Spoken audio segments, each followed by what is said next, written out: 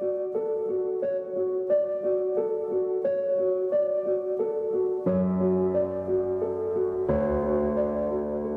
I'm here at the Acura NSX factory outside of Marysville, Ohio, and I'm going to get to take a tour and bring you all along. Acura has dumped a ton of money into this to the tune of $70 million. That's right, 70 million bucks to renovate this building and bring in a whole bunch of new manufacturing processes. It's gonna make this car super amazing, we all hope. Now we all know we had the old NSX, which really had a enthusiast bent to it. Everybody loved it, everybody loved to drive it. So let's hope that this new one is going to bring some of that passion back into the brand.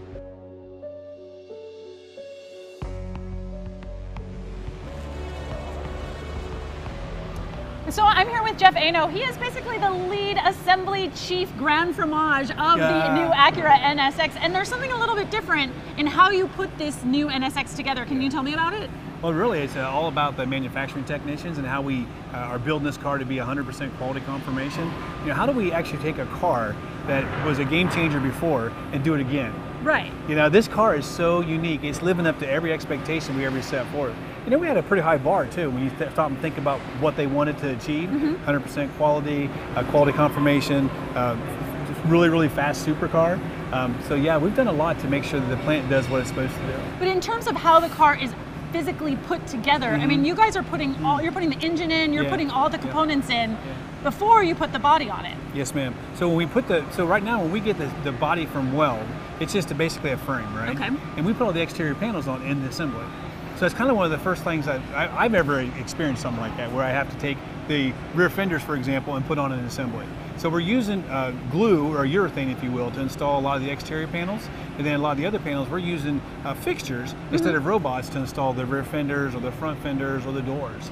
So in other cars, when uh, when it comes to assembly, it's all like you get the car and it's got the doors on it, it's got the hood on it, it's got all of that, and then you put everything Yeah. else on around that. This time you guys are kind of doing it inside out, Yeah. where you put, the guts in it first and then put the body on it. Yeah, so true. And the reason for that is we're trying to guarantee quality. So when that car comes to assembly, there's no exterior panels on it. Paint paints a very pristine exterior finish, and we want to make sure that we we uh, we preserve that finish through assembly.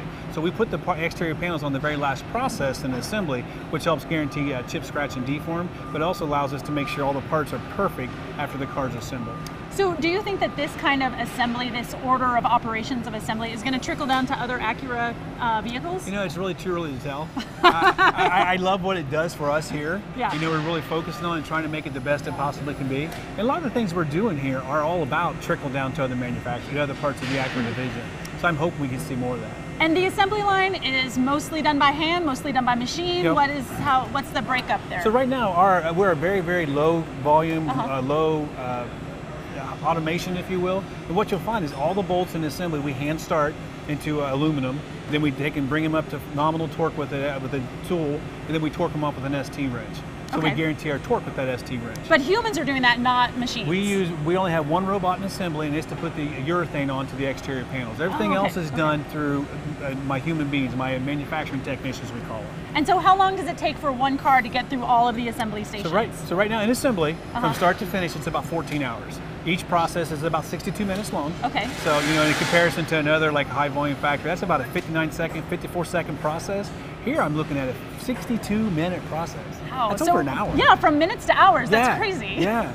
you know, and that technician's installing so many different parts too. Yeah. So then we use uh, our interactive operation standard, our VisOps we call it, Visual Interactive Uh-huh. Operation Standards, which allows us to keep track of what that person's doing. So we make sure we get every part on the car just right. So now my producer Nick and I are having a little bit of an argument. I personally like the blue one. He oh. likes the red one. Can you can you I really like the blue one, Emme. see? he likes the blue one. I do. I really like the blue one. Thank you so much, Jeff, for taking You're the time so to talk to me. I really appreciate it. You're very welcome. Thank you for having me.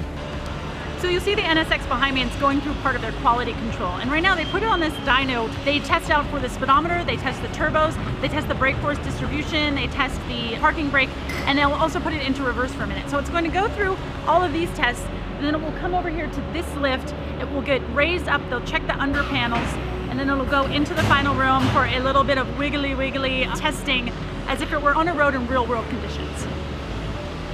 Well, there you have it. It's a backstage look at a very special and very expensive building. But check it out, they're gonna be turning out these guys, the new Acura NSX. Isn't she beautiful?